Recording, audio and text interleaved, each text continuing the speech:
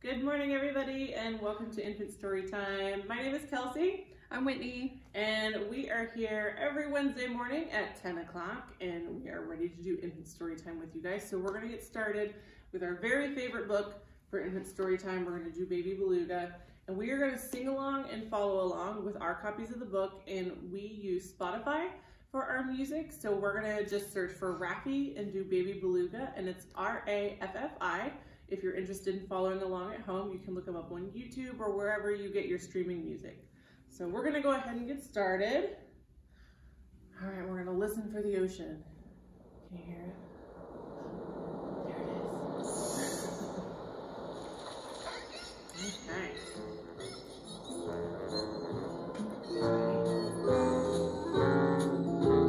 Baby beluga in the deep blue sea Swim so wild and you swim so free. Heaven above the sea below, and a little white whale on the go. Baby beluga, baby beluga, is the water warm? Is your mama home with you so happy? Way down yonder where the dolphins play where dive and splash all day. Waves rolling and the waves roll out. See the water squirting out of your spout. Baby beluga, oh baby beluga. Sing your little song, sing for all your friends we like to hear.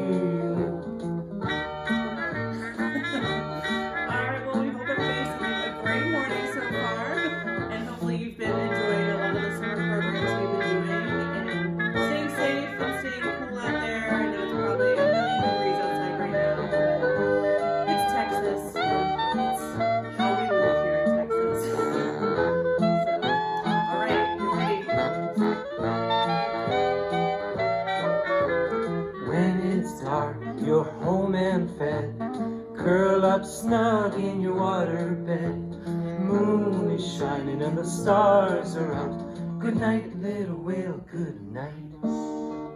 Baby beluga, oh baby beluga. With tomorrow's sun, another day's begun. You'll soon be waking. Baby beluga in the deep blue sea. Swim so wild and you swim so free. Heaven above and the sea little white whale on the go. You're just a little white whale on the go. Good job. Right. Okay. Well, like I mentioned earlier, my name is Kelsey. This is Winnie. and we're excited to be here for story time this morning. So we're gonna go ahead and get started. And the very first thing that we like to do in infant story time is we like to talk about our letter of the week. And while we can't do a whole lot with the letter of the week as infants, we at least like to make the noise. And our letter of the week this week is C. And C, um, C can be combined with some other words to make some interesting sounds, but C on its own generally makes the k noise. Like cat, which we're gonna do our sign for cat here in a minute. But Whitney, would you like to go ahead and do the C in sign language? Yeah, so C is really easy. You make a C. a very yeah. simple one. If you're right-handed, it to you it won't look like a C, but to everyone else it'll see a C. so it's okay. And then um, cat is really fun. Cat. It's like you have whiskers. Whiskers. Cat. And they show it online with both if you'd like to do it that way. But then uh, we also found our, our trusted baby sign language expert, the woman in the green shirt. Mm -hmm. I feel like we should give her a name. We use her so often. Yeah. but she just has it with one hand. So you can just do the whiskers with one for cat. And I know we, we usually tend to go over it every week. Do you want to talk a little bit about the differences between regular sign language and baby sign language? Sure. Uh, so ASL is American Sign Language. Um, what you see here with this lady in green that we use is baby sign language, um, specifically from babysignlanguage.org. Dot com. Com. Yeah. not orc, com. um, and basically, it's just signs that can help babies communicate with you that are simpler and easier. Um, sometimes it's easier for them to use their, their hands to communicate than it is to talk right off the bat. Yeah. So it's it's modified, so it's not always going to be the traditional ASL that you're used to. And if you wanted to teach them the the very strict ASL, that would be something that you would have to probably do a lot of research on your own, because um, we tend to use the the baby sign language. But it's perfectly perfectly okay to use that to start to teach your child to communicate a little bit earlier than they would be able to if you just waited for them to speak. So okay let's go ahead and we're gonna start with our rhymes. We're gonna do wig up toes. It is our very first rhyme and we like to do the same rhymes every week just because repetition is really good for them at this age. So wig up toes, we're gonna be wiggling our fingers while we sing about our fingers and all that good stuff. All right, are you ready? Wake up toes and wiggle, wiggle, wake up toes and wiggle, wiggle, wake up toes and wiggle, wiggle, wake and wiggle in the morning. All right, can you wake up your fingers? Wake up fingers and wiggle, wiggle, wake up fingers and wiggle, wiggle, wake up fingers and wiggle, wiggle, wake and wiggle in the morning. All right, can you wake up your nose? I usually have to use my finger. Try to do it without my finger this time. I've, I've been I've been getting better at it. wake up nose and wiggle, wiggle, wake up nose and wiggle, wiggle, wake up nose and wiggle, wiggle, wake and wiggle in the morning. All right, now you gotta wake up your whole body, okay? Wake up body and wiggle, wiggle, wake up body and wiggle, wiggle, wake up body and wiggle, wiggle, wake and wiggle in the morning.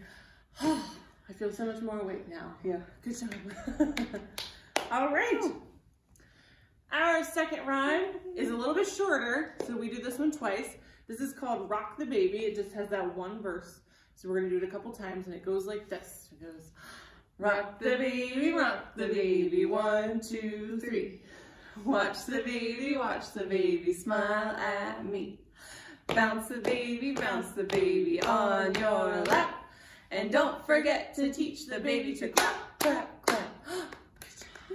Let's do that one again. Rock the baby, rock the baby, one, two, three. Watch the baby, watch the baby, smile at me. Bounce the baby, bounce the baby on your lap. And don't forget to teach the baby to clap, clap, clap. Yay! All right, well, we are gonna do a book together. I think we're going to do Cows in the Kitchen, yes. All right. This is our big book. And this is by, who is this by? Well, it is illustrated by Airlie Anderson. We do not know who wrote this though. but this is Cows in the Kitchen, and we are going to sing this one. It has a little tune, so it's a lot of fun. Okay. Cows in the kitchen, moo, moo, moo. Cows in the kitchen, moo, moo, moo. Cows in the kitchen, moo, moo, moo. What shall we do, Tom Farmer? All right. Ducks in the dishes, quack, quack, quack. Ducks in the dishes, quack, quack, quack. Ducks in the dishes, quack, quack, quack. What shall we do, Tom Farmer? Uh-oh.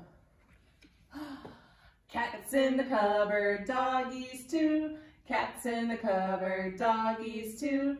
Cats in the cupboard, doggies too.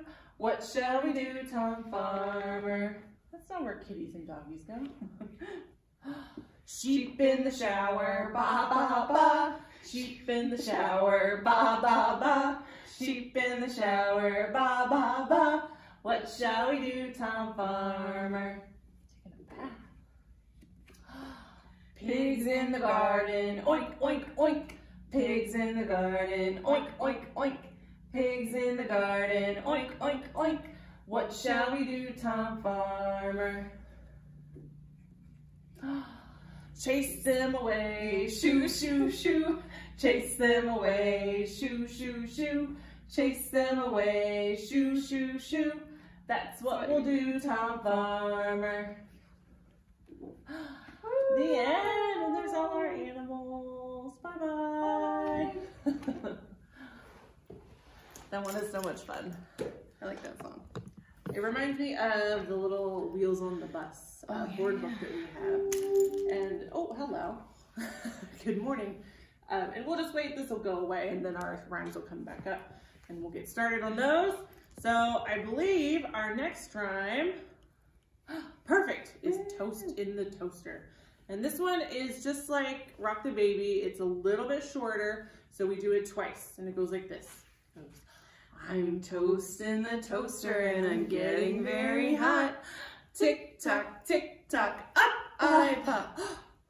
Let's do that one again. Some lifting in that one. great.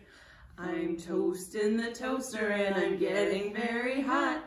Tick tock, tick tock, up I pop. Good job. All right. Our very last rhyme that we're going to do together is called Hands Are Clapping. And it is very much like that first rhyme. It's a little bit longer because it has several verses, and we're going to be singing about our toes while we tap our toes, that sort of thing. And it gets to the tune of Skip to My Lou. And it goes like this. Goes, Hands are clapping, clap, clap, clap.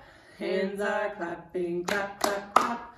Hands are clapping, clap, clap, clap. Clap your hands, my darling. All right, can you tap your toes? Toes are tapping, tap, tap, tap. Toes are tapping, tap, tap, tap. Toes are tapping, tap, tap, tap. Tap your toes, my darling. All right, can you wiggle your fingers? Fingers are wiggling, wiggle, wiggle, wiggle. Fingers are wiggling, wiggle, wiggle, wiggle. Fingers are wiggling, wiggle, wiggle, wiggle. Wiggle your fingers, my darling. All right, for our very last one, we're gonna hide our eyes and play peekaboo, okay? You ready? Eyes are hiding, peekaboo. Eyes are hiding, peekaboo. Eyes are hiding, peekaboo. Peekaboo, my darling. Good job. All right. So we are very briefly going to do a little tiny bit of infant literacy information. We what we really like to emphasize is just that literacy for your infant doesn't begin when they become a toddler, when they grow up and they learn to read and write. It begins right away. Um, as soon as you start talking to them, they're starting to develop those literacy skills. So we like to use Babies Need Words Every Day. And we have the site listed on here, and we can always send you that information as well if that's something you need, would like to request. We also briefly talked about babysignlanguage.com earlier, and that's just babysignlanguage.com, all spelled out, uh, and that'll bring you to the site where you can get all that information about signing with your baby. And then I also really like zero to three.org. It's not the numbers, it's all spelled out. It's Z E R O T O T H R E E dot org. uh, I've had to spell that out for a lot of story times now, but that is a really good site for not only infants and newborns, but all the way up until they're toddlers and they're starting to get a little bit stronger literacy skills, and that'll help you out with that. So,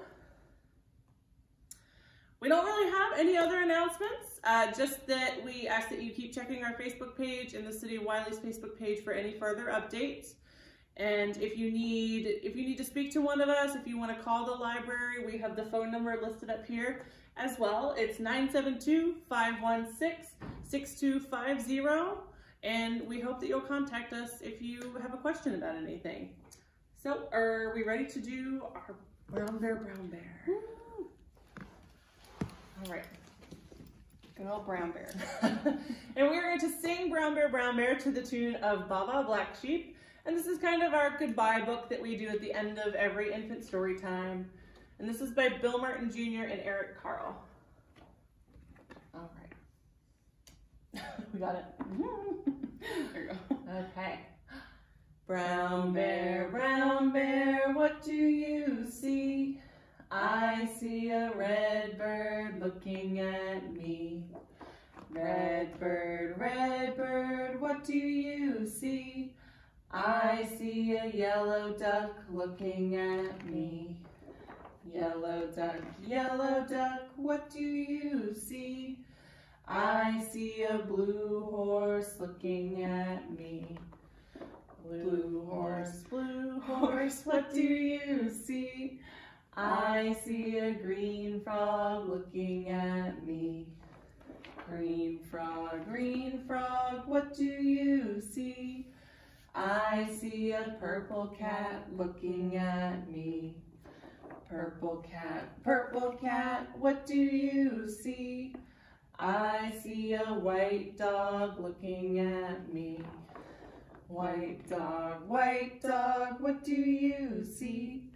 I see a black sheep looking at me. Black sheep, black sheep, what do you see? I see a goldfish looking at me. goldfish, goldfish, what do you see? I see a teacher looking at me.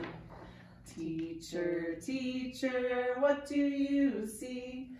I see children looking at me. Children, children, what do you see? We see all these animals looking at us. The end. Wow, animals. And you would think that after doing that, that book and song every single story time, I would be able to remember that it was goldfish there at the end. but not this morning. okay. anyway, we are excited that you guys were able to join us for story time. We hope you'll be back next week. And we will see you guys. We'll see you then if you join us. Bye.